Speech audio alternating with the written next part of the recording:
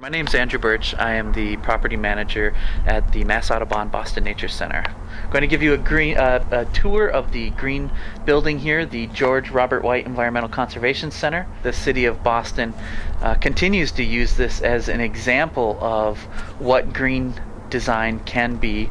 Um, they have put together councils where local architects and engineers come out to really see a functioning green building. The first thing people notice when they come in uh, is the solar parking lot lights. These are completely off grid. The sun hits the solar photovoltaics, it charges batteries inside, uh, completely contained in that light. We're really taking advantage of the sunlight by positioning a bunch of the building to the south. You'll notice the clerestory windows uh, right above the trellis there. That is really allowing us to take advantage of the passive solar heat and the light. So if you position your building to the south, you know, that's great during the winter because you're going to stay nice and warm and get lots of light. But during the summer, you know, oh my god, it's going to get really hot. So you can do something really simple, like the trellis. That trellis has grapevines growing on it. The grapevines during the summer have just very thick, dense foliage, and uh, it provides shade during the summer. And then during the winter, it falls off, and we get to take advantage of the heat. Very simple, very cost effective. Um, and very natural. Plus, you get some really great grapes in September. We have three solar hot water panels there. There are simple little uh, pipes running through filled with glycol. Uh, the sun heats those pipes up. The glycol goes down to our hot water heater, and uh, there's a heat exchanger there where basically the sun is preheating all of our hot water. Next solar technology is the solar photovoltaic shingles. Most people come in and they hear we've got solar power on the building, but they don't see it. You know, uh, they don't come out here and they don't see the big square panels that they're so used to. Uh, that's because these shingles look exactly like uh, slate, and that's what they're designed to do is to look like slate. Uh, you'll notice they're a little bit glossier, and they produce about two and a half kilowatts of energy. As you saw outside, those shiny shingles up on the top of the tower. Uh, this is this is what makes them shiny. These, this is the solar photovoltaic portion. Uh, these overlap, connect to each other, and then are run back down uh, into our building where the energy is converted to usable energy. The first thing a lot of people notice are these giant timbers that we have. No old growth forests were cut down for this building. Uh, this is a material called parallel strand timbers, which is basically taking wood chips and sawdust uh, uh, produced in standard milling processes and compressed together in a composite. It's a great way to incorporate large uh, timbers into your design without having to cut down old growth forests. Trying to stay away from the plastics, the things that are more difficult to recycle and reuse. Uh, the idea being that at the end of the life of this building, either everything is everything in the building is going to be either recycled or reused. The slate on the inlay is uh, quarried right in Quincy, Massachusetts, which is right down the road. Some people might have thought linoleum went out of style and the 70s, but it's coming back uh, for good reason. Not only is it easy to take care of and really beautiful, it's also uh, just about completely, I believe, completely organic. Uh, it is, you know, cedar shavings and linseed oil, and you take the wax off that uh, linoleum tile, you can throw the tile on your compost pile. Uh, another uh, green feature of this building are the lack of material right here on our floor. This is just a standard concrete floor, uh, but we've applied a material called skookum, which gives it the texture and pigment. And it's, it's a great way to save on, you know, not using as much material to build your building. Uh, we use low off-gas paint uh, in the building, uh, also known as hospital paint or low VOC paint.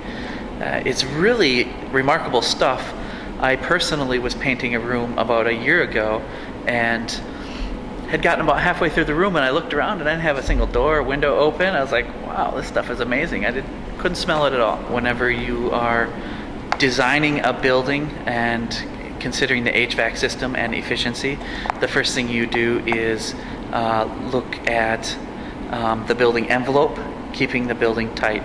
And this building here is constructed with structural insulated panels.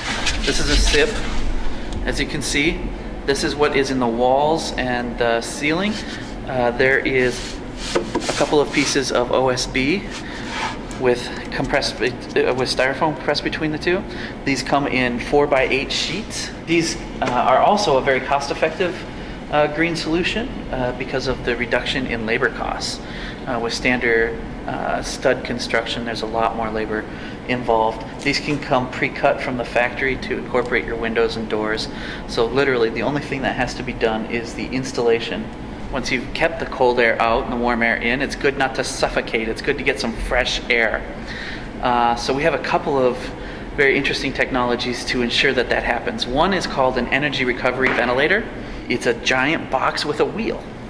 And what happens is it sucks the cold, the cold fresh air from outside and mixes it with the preconditioned air, the warmed air, so you're getting the benefits of fresh air coming in, but it's already been warmed up by the air that's already in your building. That way you're not blasting your room with you know, freezing cold air or hot humid air in the summer. Welcome to the office space. This is where we all do our work.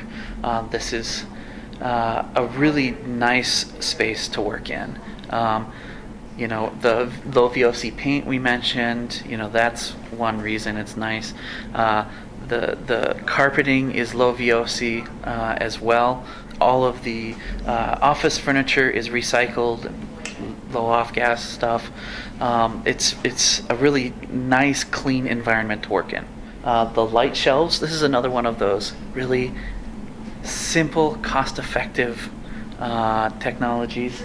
Uh, basically, the light shelves are designed to take the light that comes in from the clerestory windows and to bounce it up into the onto the ceiling and give us a nice diffuse light. On a sunny day, this room is basically entirely lit by the the light coming in through those windows. These light sensors are picking up how much light is in the room. The more light in the room, the dimmer the lights are, the less energy we're burning. Many of the rooms, they have occupancy sensors. Um, motion sensors that come turn the lights on when you come into the room. I mean, you can get those at Home Depot.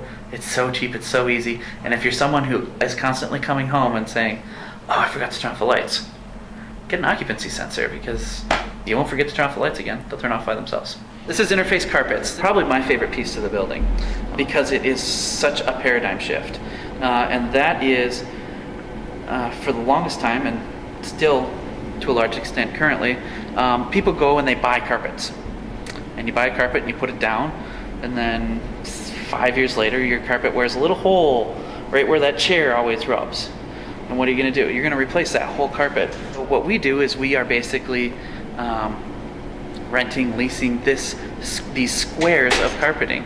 Uh, these squares of carpeting are put down into the um, floor. They're low VOC carpet. They are uh, recycled material carpet. And as these pieces wear out under someone's desk, um, in a high traffic area, we can pull out the squares and ship them back to the company where they will uh, recycle them into more carpeting and then we get a piece back that fits in and it's a service and we don't have to pull up the entire carpeting. Wastewater is an issue, especially when you're dealing with, uh, stormwater I should say is an issue, especially when you're dealing with a building this size. And so we have dealt with ours on the ground. Uh, basically, you won't find gutters on the building, instead there are perforated pipes under, submerged around the entire building. The water collects in those pipes and then leads to a series of drainage ponds. Uh, we have uh, a cattail pond right out back. If that fills up, we have a second drainage pond, again filled with cattails. Through even a 100 year storm here, we are going to add no additional water to the Boston water and sewer system. The stormwater systems are not designed uh, to take all of the water that comes off of the street and the buildings and treat it.